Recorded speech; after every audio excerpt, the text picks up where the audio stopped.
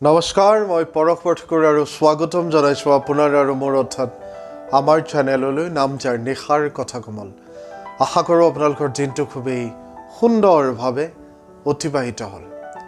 দুহেজাৰ তেইছ চলচ্চিত্ৰৰ বাবে এক ব্যতিক্ৰমী বছৰ হিচাপে পৰিগণিত হ'ল যি ভাৰতক বহুতো উৎকৃষ্ট চলচ্চিত্ৰ আৰু ৱেব শৃংখলা প্ৰদান কৰিলে। আজিৰ খণ্ডটিত দহটা ৱেব শৃংখলাৰ ওপৰত প্ৰতিফলিত কৰোৱা হওক যিয়ে দৰ্শক আৰু সমালোচক দুয়োকে আকৰ্ষিত কৰিছিল আৰু যি দুহেজাৰ তেইছ বৰ্ষটোৰ কিছুমান শ্ৰেষ্ঠ বাছনি হিচাপে থিয় দিছে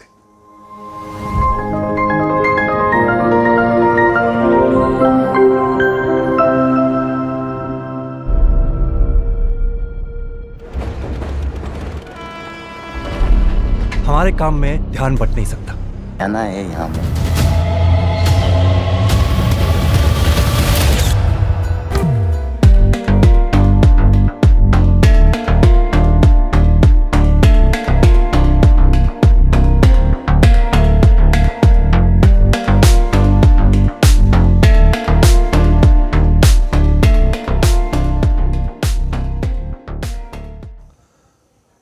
প্ৰথমে উল্লেখ কৰোঁ ডিজনী প্লাছ হটষ্টাৰত উপলব্ধ the night manager the night manager হৈছে সন্দীপ মোদীৰ দ্বাৰা নিৰ্মিত হিন্দী ভাষাৰ অপৰাধ থ্ৰিলাৰ টিভি শৃংখলা যি দুহেজাৰ ষোল্ল চনৰ পৰা ব্ৰিটিছ প্ৰতিপক্ষৰ পুনৰ নিৰ্মাণ উপস্থাপন কৰে যি জন লেকেৰিৰ এক শিৰোনামৰ উপন্যাসৰ পৰা অভিযোজিত।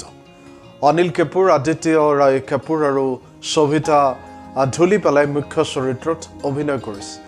লগতে তিলোত্তমা সোম ৰবিবে আৰু শাশ্বতা চেটাৰ্জীকে ধৰি এক প্ৰতিভাশালী দলৰ দ্বাৰা সমৰ্থিত হয় যিসকলে এক আকৰ্ষণীয় স্পাই থ্ৰিলাৰ উপভোগ কৰি ভাল পায় এই শৃংখলাটো চূড়ান্ত বাছনি হিচাপে থিয় হয় ইয়াৰ পিছত কওঁ এমেজন প্ৰাইম ভিডিঅ'ৰ জুবিলি বিক্ৰমাদিত্য মটৱানীৰ দ্বাৰা পৰিচালিত এই শৃংখলাটোত অপাৰ শক্তি খুৰানা আদিতি ৰাও হাইদাৰী আৰু প্ৰসেনজিৎ আ, চৌধুৰীয়ে গুৰুত্বপূৰ্ণ চৰিত্ৰত অভিনয় কৰিছে।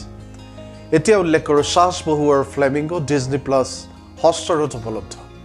চাচ বহু আৰু ফ্লেমিংগো দুহেজাৰ তেইছ চনৰ অন্যতম গুৰুত্বপূৰ্ণ ৱেব শৃংখলা হিচাপে আত্মপ্ৰকাশ কৰিছিল। ইয়াক পৃথক কৰাটো ইয়াৰ অভিনৱ দৃষ্টিভংগী য'ত মহিলাসকলে কেৱল কেন্দ্ৰীয় পৰ্যায়তেই নহয় পৰম্পৰাগতভাৱে পুৰুষৰ ভূমিকাটো ভৰি দিয়ে। যদিও মহিলাসকলক মুখ্য ভূমিকাত ৰখাটো সচৰাচৰ হয় এই শৃংখলাটোত মহিলাসকলে আমাৰ পৰম্পৰাগত পৃথিৱীত সাধাৰণতে পুৰুষৰ সৈতে সম্পৰ্কিত কামবোৰ নিৰ্বিঘ্নে প্ৰদৰ্শন কৰি এখোজ আগুৱাই যায়। এইটো এনে এখন পৃথিৱী ৰচনা কৰে য'ত মহিলাসকলে আমাৰ দৈনন্দিন জীৱনত পুৰুষে কৰা প্ৰতিটো ভূমিকা সহজে পালন কৰে। এই মুহূৰ্তত উল্লেখ কৰোঁ made in heaven season two Amazon prime ভিডিঅ'ত উপলব্ধ হয়। মেড ইন হেভেনৰ নান্দনিক অনুভৱ অতুলনীয় হয় যদিও দ্বিতীয় ছিজনটো প্ৰথমটোৰ তুলনাত উপনীত নহ'ব পাৰে তথাপিও ই এক সন্তোষজনক অভিজ্ঞতা প্ৰদান কৰিছে। এই ছিজনত তাৰা প্লেড বাই সবিতা ধূলিপালা আৰু অৰ্জুনৰ তেওঁলোকৰ সংগ্ৰামমূলক ব্যৱসায় পুনৰ নিৰ্মাণৰ প্ৰচেষ্টাৰ চাৰিওফালে ঘূৰি আছে। তেওঁলোকে তেওঁলোকৰ কাৰ্যালয়ৰ এটা পুৰণি ৰানডাউন ঘৰত স্থাপন কৰে।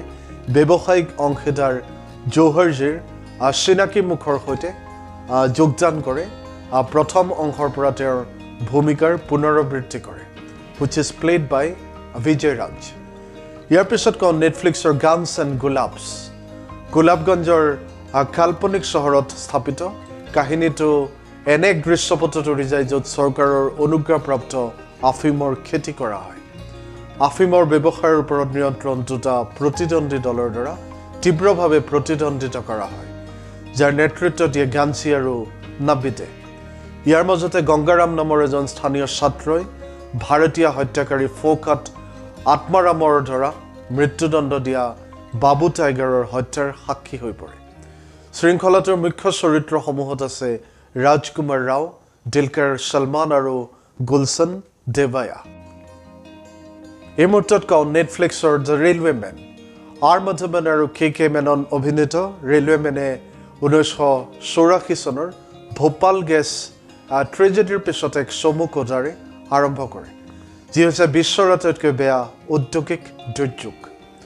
শৃংখলাটোৰ ভিতৰত আমি station master Iftikar played by K K Menon শেহতীয়াকৈ নিযুক্তিপ্ৰাপ্ত Imad played by Babil Khan express Dasyu Baldev played by Dibyendu আৰু ৰেলৱেৰ general manager Rati played by মাধৱনৰ মুখামুখি হওঁ শৃংখলাটোৱে সূক্ষ্ম বিৱৰণৰ প্ৰতি মনোযোগ দিয়াত উৎকৃষ্ট লগতে কাৰক যি ইয়াৰ সফলতাত গুৰুত্বপূৰ্ণ অৰিহণা যোগাইছে আনকি চেৰনবিলৰ সৈতে তুলনা নকৰাকৈও শৃংখলাটো প্ৰশংসনীয় হিচাপে থিয় হয় ইয়াৰ পিছত কওঁ নেটফ্লিক্সৰ কালাপানী কালাপানী দুহেজাৰ তেইছ বৰ্ষত ভাৰতীয় দৰ্শকৰ বাবে অন্যতম শ্ৰেষ্ঠ জীয়াই থকা নাটক হিচাপে থিয় হৈছে।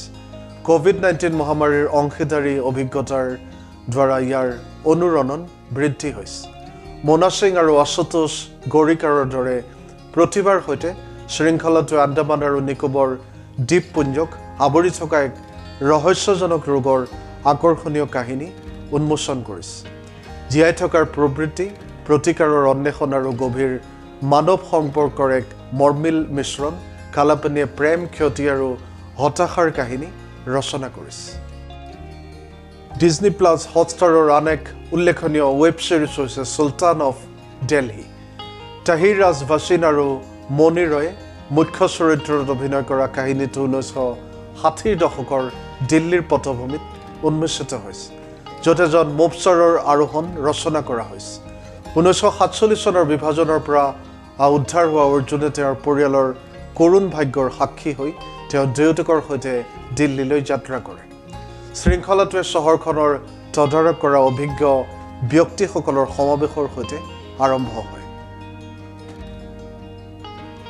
নেটফ্লিক্সৰ আন এক জনপ্ৰিয় ৱেব ছিৰিজ হৈছে স্কুপ জিজ্ঞাভুৰাৰ জীৱনীমূলক স্মৃতি গ্ৰন্থ behind bars in Byculla my days in প্ৰিজনৰ পৰা অনুপ্ৰেৰণা লাভ কৰি স্কুপ দুহেজাৰ তেইছ চনত মুক্তি লাভ কৰা এক ষ্টেণ্ড আউট শৃংখলা হিচাপে আত্মপ্ৰকাশ কৰিছে। দুহেজাৰ এঘাৰ চনত মিড ডে ৰিপৰ্টাৰ জ্যোতিৰ্ময় দেৰ হত্যাকাণ্ডৰ অভিযুক্ত জিজ্ঞা ভোৰাৰ সঁচা জীৱনৰ বৰ্ণনাক কেন্দ্ৰ কৰি এই শৃংখলাটোত মুখ্য চৰিত্ৰত কৰিশ্মা তান্না মহম্মদ জিছান আয়ুব আৰু প্ৰসেনজিৎ চেটাৰ্জীয়ে অভিনয় কৰিছে। আৰু আজি শেষত উল্লেখ কৰোঁ বম্বাই মেৰী জান যি এমেজন প্ৰাইম ভিডিঅ'ত উপলব্ধ। অভিনাশ তিৱাৰী কে কে মেনন আৰু কৃতিকা কামৰাই মুখ্য চৰিত্ৰত অভিনয় কৰা এই শৃংখলাটো ঊনৈছশ চৌষষ্ঠি চনৰ বোম্বাই উন্মোচিত হয়। ৰত্নগিৰিৰ বাসিন্দা এজন পোনপটীয়া আৰক্ষী বিষয়া আৰু এজন সমৰ্পিত পৰিয়ালৰ লোক ইছমাইল কাদ্ৰিক সুলেমান হাজি মকবুল আজিম পাঠান আৰু আন্না ৰাজন মুটিলিয়াৰৰ মাজত অপৰাধমূলক মিত্ৰতা উন্মোচন কৰাৰ লক্ষ্যৰ দায়িত্ব অৰ্পণ কৰা হৈছে। শৃংখলাটোত দেখুওৱা হৈছে কেনেকৈ ইছমাইলৰ সততাই তেওঁৰ ব্যক্তিগত আৰু পেচাদাৰী দুয়ো ক্ষেত্ৰত নিৰন্তৰ প্ৰত্যাহ্বানৰ সন্মুখীন হৈছে। গতিকে এই কথাৰে আজিৰ প্ৰসংগ সামৰিছোঁ। আশা কৰোঁ খণ্ডটি আপোনালোকে আদৰি ল'ব। কাইলৈ আকৌ আহিম নতুন এক বিষয়ৰ সৈতে। যোৱাৰ আগত অনুৰোধ আপোনালোকৰ মতামত আগবঢ়াব আৰু চেনেলটো নিশ্চয়কৈ ছাবস্ক্ৰাইব আৰু ফ'ল' কৰিব। ভগৱানে আপোনালোক সকলোৰে মংগল কৰক। আজিলৈ আহোঁ। শুভৰাত্ৰি। ধন্যবাদ